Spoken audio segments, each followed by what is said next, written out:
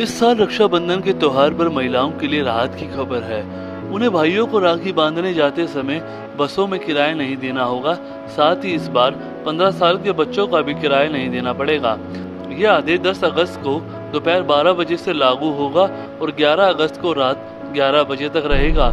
ये सुविधाएँ महिलाओं को स्टैंडर्ड व सामान्य दोनों बसों में मिलेगी, चाहे वह रोडवेज़ बस हो या फिर प्राइवेट बस। रक्षाबंधन को देखते हुए किसी भी महिला को किराया नहीं लिया जाएगा। अगर कोई परिचालक किराया लेता है तो इसकी सूचना संबंधित डिपो के रोडवेज़ अधिकारियों को दे। परिवहन विभाग ने इस बार महिलाओं के साथ 15 साल तक के बच्चों का भी किराया निशुल्क करने का फैसला लिया है। कोविड के चलते दो साल तक यह सुविधा नहीं थी। 15 साल के बच्चे को किराए में छूट नहीं थी, सिर्फ़ महिलाओं का किराया फ्री था। हालाँकि इससे पहले रक्षाबंधन के दिन महिला व उसके साथ 15 साल तक के बच्चों का किराया नहीं लगता था। यह परिवहन विभाग का सराहनीय फैसला है। इसका उद्देश्य है कि महिलाएँ आसानी से अपने भाइयों को राखी बांधने के लिए उनके पास पहुँच सके।